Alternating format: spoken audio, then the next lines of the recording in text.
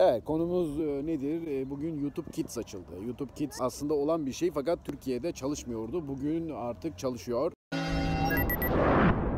E, İçeriklerini siz ayarlıyorsunuz ebeveyn olarak. Ne yapıyorsunuz? İşte ben bu kanalı seyredebilirsin diyorsun.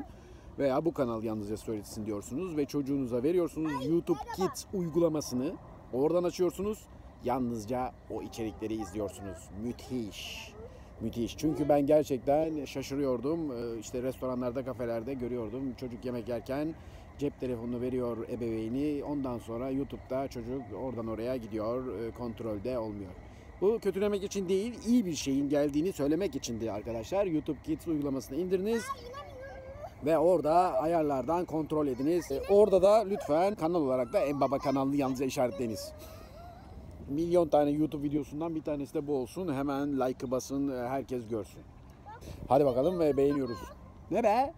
İnemiyormuş. Nasıl inemiyor? E, niye orada kal o zaman sen? Tamam, Emel bundan sonra hep ağaçta. Haberiniz olsun.